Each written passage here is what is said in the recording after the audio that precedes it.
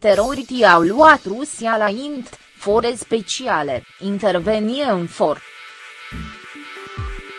Rusia a anuncat sumte ce au ucis 9 militanți care intenționau să comit un act terorist în regiunea Dagestan, din sudul cerii, transmite Reuters. Comitetul antiterorist rus a anuncat pe website-ul său ce primise informația conform cerea mai mulți militanți care pelenuiau să comit un atac la începutul lunii mai se ascund în Derbent, al doilea ora subliniere camerime din Dagestan.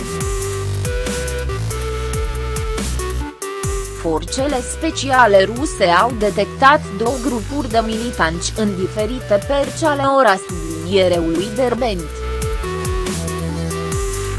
Militanții au deschis focul de arm după ce fusese somaci să se predea, fiind apoi uci sublinierei de forțele ruse.